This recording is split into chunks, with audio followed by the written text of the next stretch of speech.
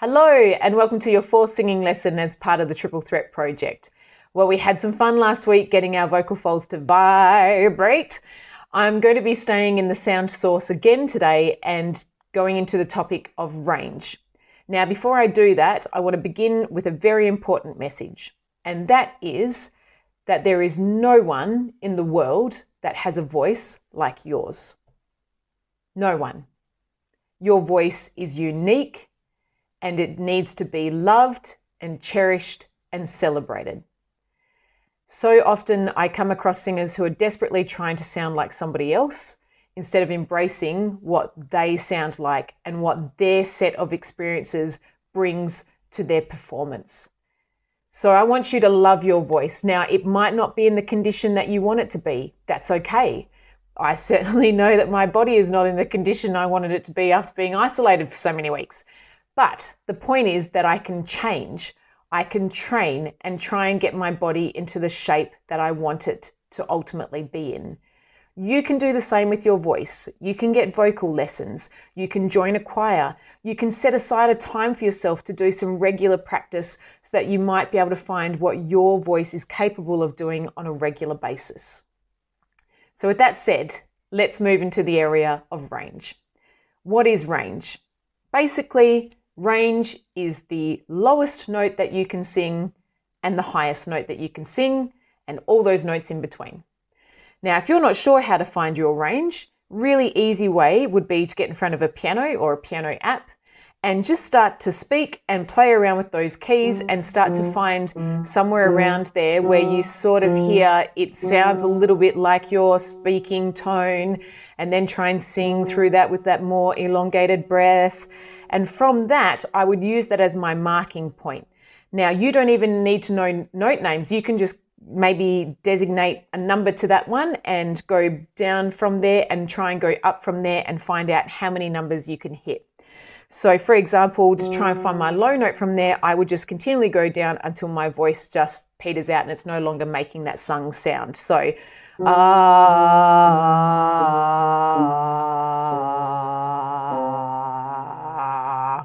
I think that's about it.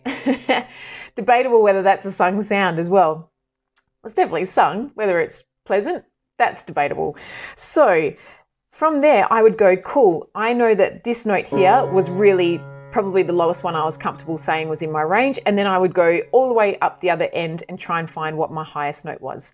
And then I would mark the date and go, cool, on this date, this is my range. Now, that's very different to what I call your singing performance range. And that range should never be those notes that are hit and miss.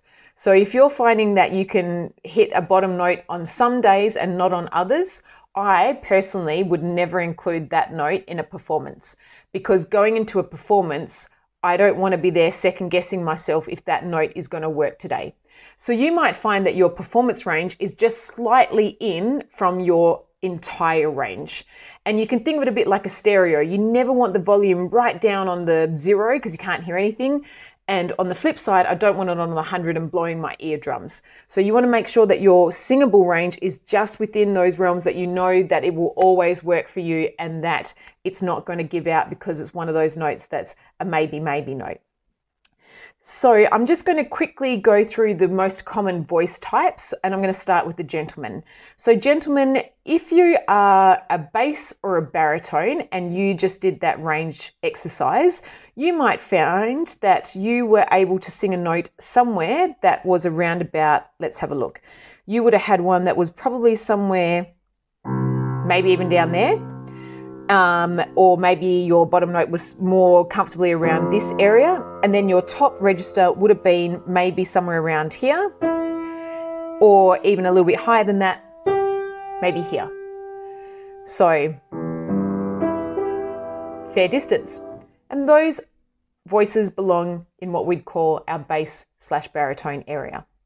Tenors, you are generally higher than the baritones. And again, all of this there there are exceptions and there are extensions, but I'm just going to give you a rough guide. So for the tenors, you might find that your bottom note that you were comfortable singing was maybe around about here, and then your note that you were comfortable maybe here for now, and for some of you, you might have even been able to go here. And that's my tenor range.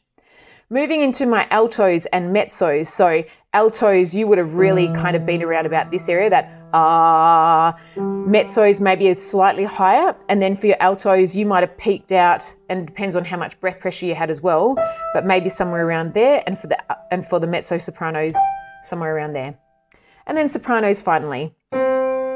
Around this area would have been your lower one, and then anywhere up to here, possibly higher. And those are generally our sort of choir ranges, if you like. So if you're singing in a choir, you would have seen that you've got the the basses, the tenor, the alto, or they might have called it the mezzo line, and the sopranos. Now, why does range matter? Well, it matters because if you want to think of it like a runner, if you are running in the wrong distance, you're just going to feel uncomfortable. You probably can still do it, but you're probably going to feel uncomfortable for most of the race. And then if I let you run in a distance that really suits you, that your body is designed to do, you're just going to love it and feel super comfortable. So some runners are designed to run 100 really well, or a kilometer really well, or a marathon or an ultra marathon. Yes, they can run those other distances, but one of them is going to feel really easy and organic for them.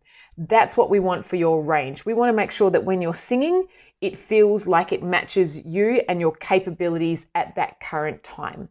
Today's exercises, what I'm going to do is focus on the two common ones that I come across. So I'm going to give you some range exercises for those of you that are singing in choirs and finding yourself to have to sing higher and possibly higher for sustained periods of time or even lower for sustained periods of time. And then I'm going to turn my attention to those of you that are singing maybe the contemporary and musical theatre repertoire where you're trying to take some more weight into that middle upper register and maybe you're finding that you're really struggling to get up there. So I've got an exercise for you as well. Let's get cracking. Lip trills. Lip trills are such a fantastic exercise regardless of what genre you're singing. Now, lip trills sound something like this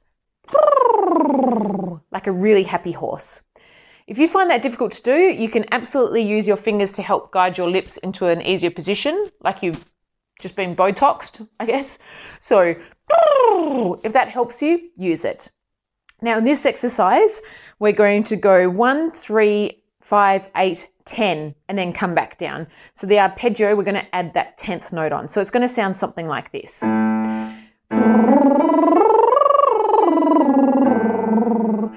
Now, the wonderful thing about using a lip trill is that it's going to open up your neck muscles and it's also going to show you if you are stopping your power supply, your breath, because it just won't work if you cut that off.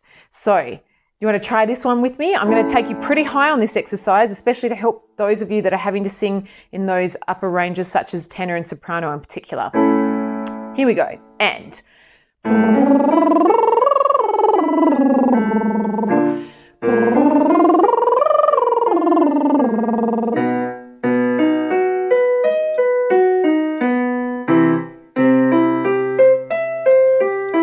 Love your work. Keep going.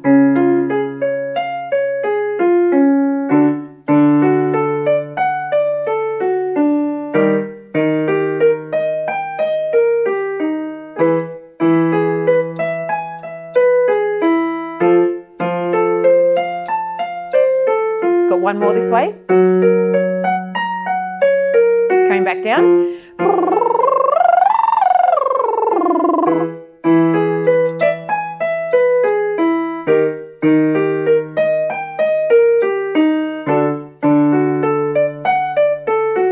Excellent.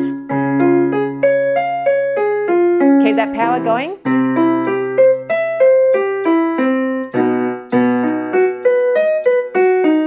Last two.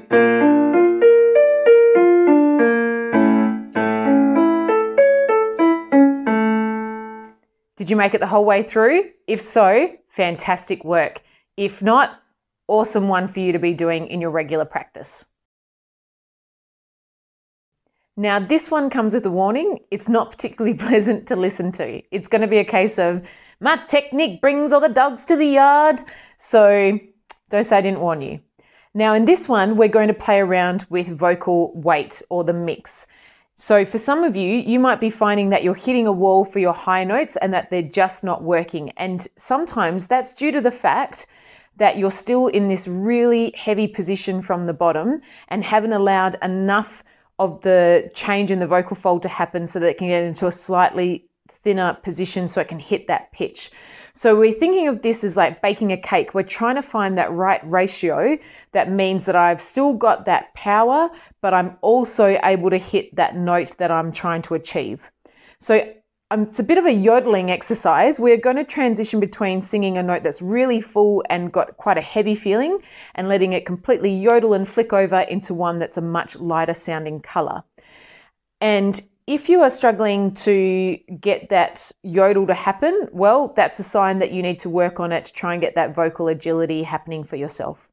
At the end of the exercise, I'm going to see if we can incorporate into one of the most beautiful songs of all time, Somebody to Love.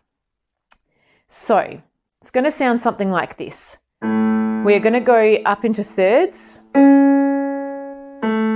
Now, we are going to start our beginning note with a lot of heaviness, and then we're basically just going to let it pop over when we go for that third and go into a much softer sound. So it's going to sound something like this. Ooh. So I'm going to play with the weight. I'm going to do that again. Mm. Ooh. Sounds a little bit like a foghorn. Next one. I'm going to keep going up. Heavy, switch, heavy. Heavy first, switch, heavy.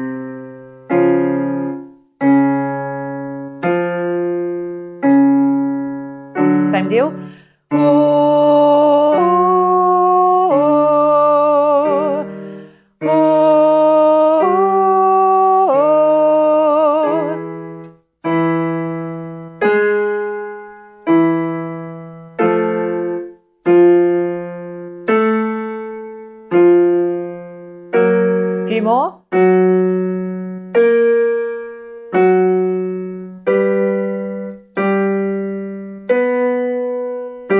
Last one in this direction.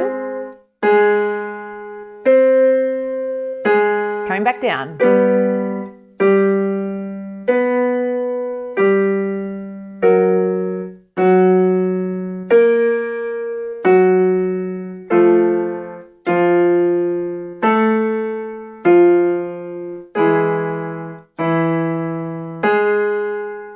Excellent. Few more to go.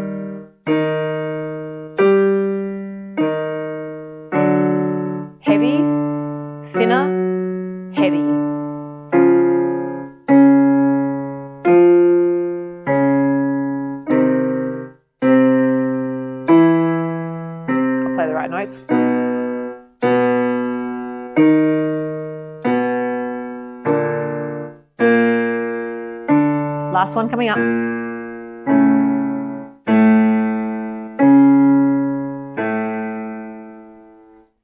What did you discover? Did you find that you weren't really able to go into that softer mix? Or did you find that it was quite easy and you discovered then that you could add a little bit more of that feeling to those heavier notes?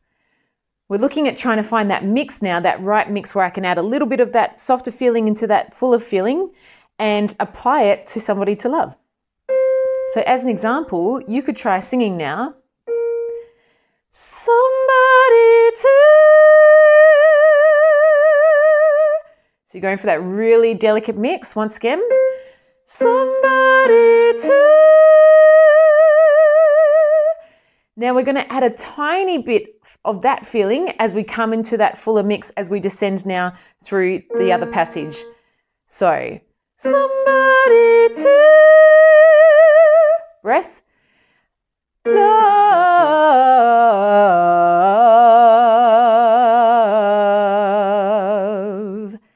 Let's see if we can do that one again.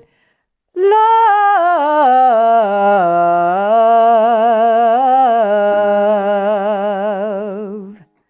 Oh, I feel like we just channeled Freddie Mercury.